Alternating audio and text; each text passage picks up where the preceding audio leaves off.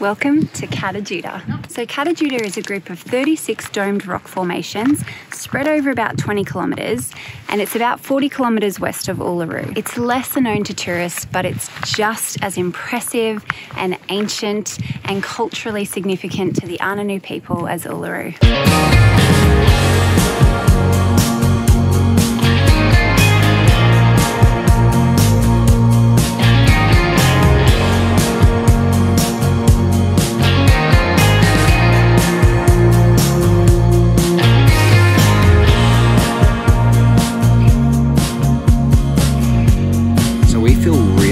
Privileged to be able to be on this land right now because this is actually a sacred men's site to the Anangu people. And we're grateful that we have the opportunity to be able to explore it and soak in the atmosphere. So this morning we watched the sunrise over Uluru and Kata Tjuta and it was magical and such a good way to start the day.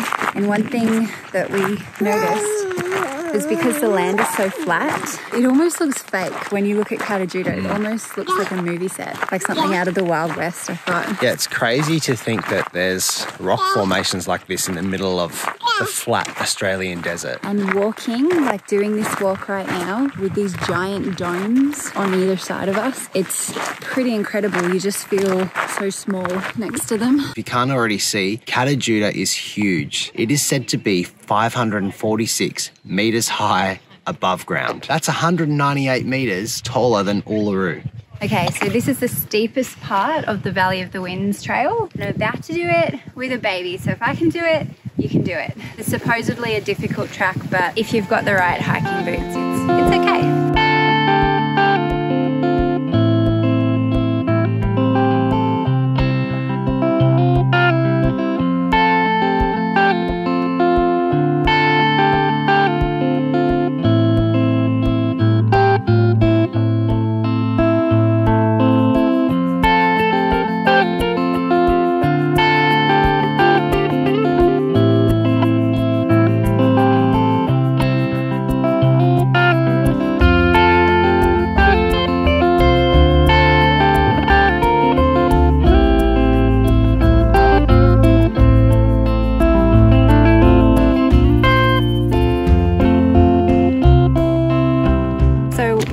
And it doesn't do it justice. No like way. how huge. It really doesn't. And like the scale of the rocks. I think we have a new camera person as well. So uh, stay early. tuned for some unique shots. Yeah, of my body. Valley of the Wind, lookout two. So babe. Yes. This is the second time we've done this walk. Second time, yeah. It's the first time we did it, and um, that woman. What did that woman say? I, I, I, think, yeah, I'm pretty sure she said, wow, can't believe she's carrying a baby this whole way. She deserves a massage. Oh, that's right. Remember? Yeah, how did I forget that one?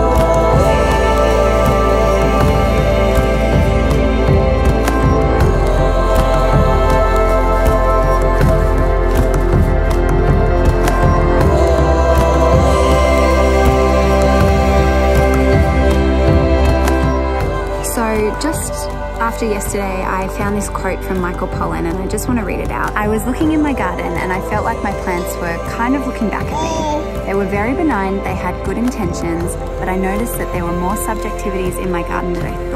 We go through the world thinking we're the only thinking subject. Everything else is an object. One of the things that happens on psychedelics is that everything has life in it, has consciousness in it, and that was a powerful and beautiful experience. And that quote reminded me of us walking through Uluru Kata Tjuta because the Anangu people believe that this is a living cultural landscape. And yesterday when we did that little walking meditation around Uluru, it felt like there was a presence to the land. And it reminded me of that quote, you know, when we're tapped into different senses, we're aware that we're not the only sentient beings.